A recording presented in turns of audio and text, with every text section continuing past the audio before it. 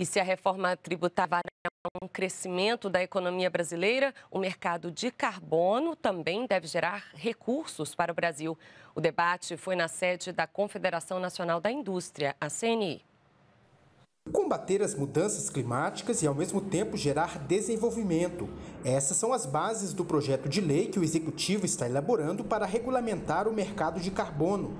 A Confederação Nacional da Indústria, parte interessada no tema, realizou um debate em Brasília sobre o uso do mecanismo que atribui valor às emissões de gases do efeito estufa. Se for bem planejado e conduzido de maneira adequada, esse instrumento poderá estimular o desenvolvimento tecnológico e a, e a geração de riquezas no Brasil.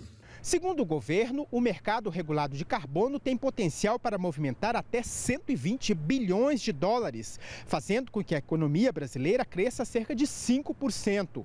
E a grande vantagem do Brasil é possuir a maior floresta tropical do mundo e ser referência mundial na produção de energia limpa.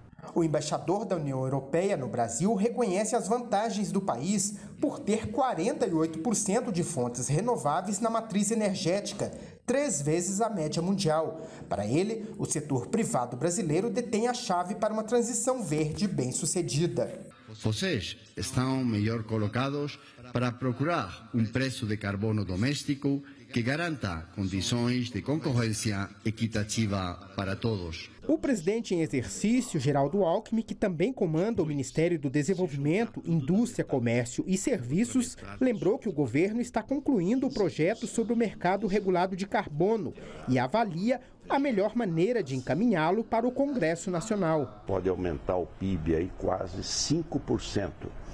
De um lado, induz empresas à descarbonização, a transição energética, a evitar a emissão, ajudar a combater a mudança climática e de outro atrai investimento.